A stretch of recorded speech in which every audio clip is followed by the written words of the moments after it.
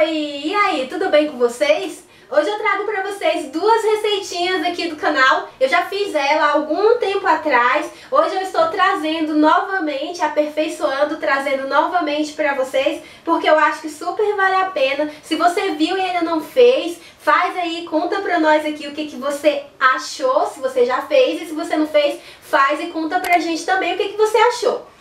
E se você gosta desse tipo de conteúdo, já vai deixando aquele like que dá uma super força para nós, porque o YouTube ele só entrega as notificações para quem deixa like. É por isso que a gente pede muito like de vocês. Se é novo por aqui, comenta aqui embaixo pra gente saber que você tá chegando agora. E se inscreve no canal ativando as notificações.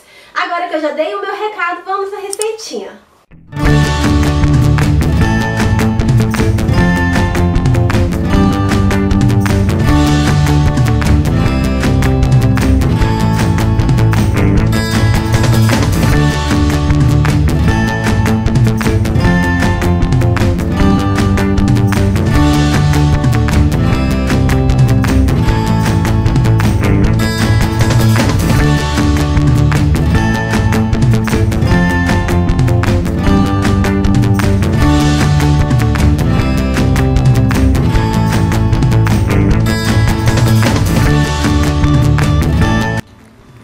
Lembrando para você que as duas receitas, ela tanto serve para clarear manchas, como também para dar aquela esticada na pele, aquela amenizada aí naquelas marcas de expressão. E todos os benefícios da receita vai ficar aí na descrição do vídeo, para o vídeo não ficar muito longo, combinado?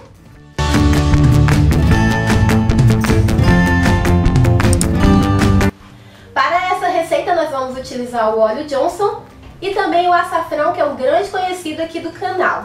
É super simples, você só vai misturar os dois até formar uma pastinha e depois vai lavar muito bem o seu rosto e vai aplicar. Aplica em todo o seu rosto e deixa aí por 10 minutinhos. Depois é só lavar o rosto e pode fazer até 3 vezes por semana.